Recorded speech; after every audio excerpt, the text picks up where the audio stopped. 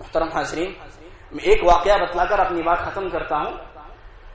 ایک تابعی ہیں جن کا نام ربعی بن حراش ہے رحمت اللہ علیہ۔ ان کے بارے میں حارث بن الغنوی رحمت اللہ علیہ فرماتے ہیں کہ انہوں نے اپنی زندگی میں یہ قسم کھا لی تھی۔ امام صحابی نے اسیر میں اور ابن عساکر رحمت اللہ علیہ نے اپنی کتاب میں اس واقعے کو ذکر کیے ہیں۔ واقعہ صحیح ہے۔ کہتے ہیں حارث الغنوی رحمت اللہ علیہ ان کے بارے میں، انہوں نے اپنی زندگی میں قسم کھا لی تھی کہ جب تک مجھے میرا انجام معلوم نہ ہو جائے کہ میں جنتی ہوں یا جہنمی ہوں، میں زندگی پر مسکراؤں گا ہی نہیں۔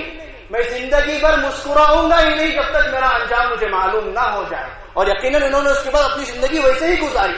انہوں نے اپنی پوری زندگی میں مسکرایا بھی نہیں۔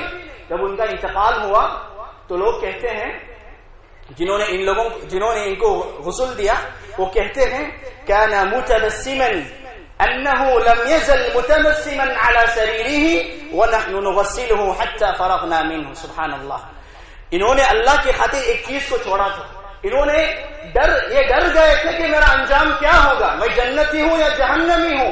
میں نیک ہوں یا برا ہوں؟ مجھے معلوم نہیں ہے۔ میں جو نیک اعمال کر رہا ہوں، اللہ کے دربار میں قبول ہوں گے یا نہیں ہوں گے، مجھے نہیں معلوم ہے۔ اس لیے انہوں نے اللہ کی خاطر ایک کام کو چھوڑا، زندگی پر مسکرانا بھول گئے۔ مسکرائے نہیں زندگی بھر۔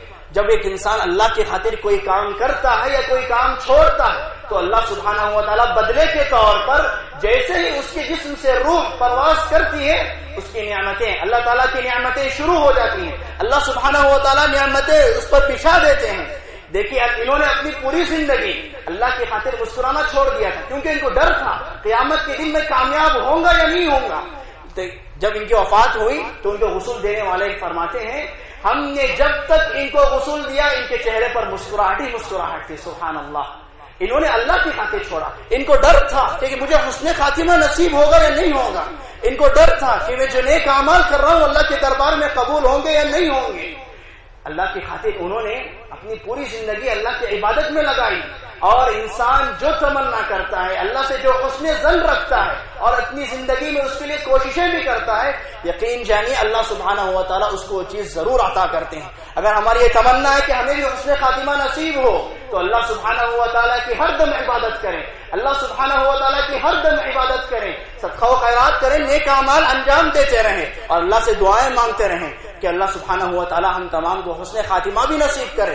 کیونکہ جو انسان اللہ سبحانہ ہوا تعالیٰ سے جس طرح کا گمان کرتا ہے، اللہ سبحانہ ہوا تعالیٰ اسی اسی طرح کا معاملہ اس کے ساتھ کرتے ہیں۔